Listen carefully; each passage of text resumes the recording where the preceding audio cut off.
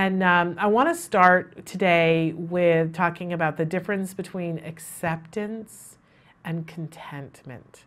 This is a lesson that somebody gave me many years ago before I had a child with autism. But then when somebody reminded me to apply this to autism, it was a mind blowing moment for me. So, um, and what, what I was taught was that acceptance and contentment are not the same thing. And that while we never give up, uh, that that's the contentment portion, that we're always striving to something better, it is important on a daily basis to have a moment of inhalation and exhalation where we accept what is that we not rail against it. And you know, we had Byron Katie on the show, and she has a book called Loving What Is. Uh, that's like the 13 steps down the road, but just a moment of acceptance. And you know, uh, it, it's something that can absolutely be applied to anything.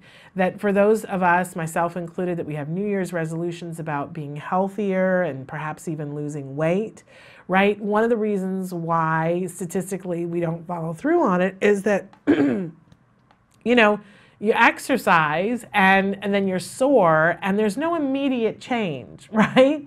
And so we're not in acceptance and we're not in contentment. We're unhappy, but we're not willing to do the things that we have to do to change it.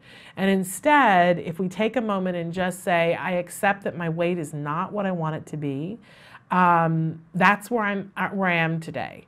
Uh, and I fully accept that. Then it leaves room for us to look and say, but am I content with that? Is that what I want it to be? And is there something that I can do today to work towards it being something else? It doesn't negate the fact that it is.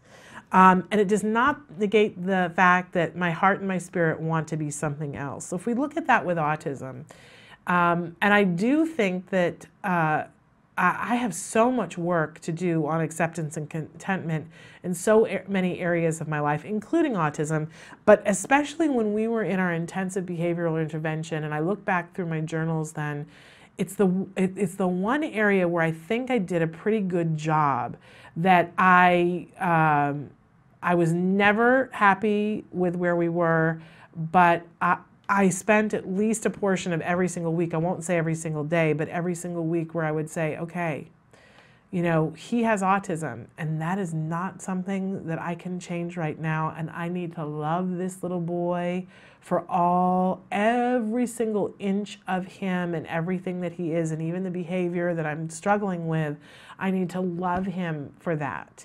Um, and yet I'm not content with the progress that we have. So this is what we're going to do. It helped me to stay fresh with therapy. It helped me to keep the therapy going when it was really hard. It helped me to have fun and appreciate him. My husband and I, as we were commemorating the 10 year last year, one of the things that we talked about is that you know, there are some lessons from when we were in the early intervention that we have not applied to our lives now because our lives were so jam packed with things that were scheduled and it had to be this and it had to be that, we were very particular about saying, you know, when we have five minutes or when we have a minute and a half, we carve this time out as a family and we have fun. That when the last therapist would leave and we would close the door behind the last therapist and dinner would be cooking and it would be a mad rush to try to get homework done and to get food on the table, whatever, we always would stop and put on a song and dance for a minute and a half. And you know what's funny about that is that I that's what I remember. I I can remember the feeling of oh we have so much to do. I remember that, but I remember the joy of when we danced around the room and had a minute, and we don't do that anymore. Now, I can accept that and say, oh, our lives are busy and we're different. I'm not content with that. And it gives me an opportunity to make a new choice today instead of flushing the whole thing away. Because this is what we do a lot of times is we go, it's this and it's all encompassing.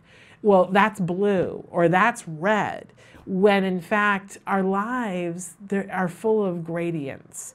Um, and when we work on acceptance and contentment and say, well, this is what is, this is the part of it that I'm not happy about with, we get gradations. We enjoy ourselves more and we are in the present.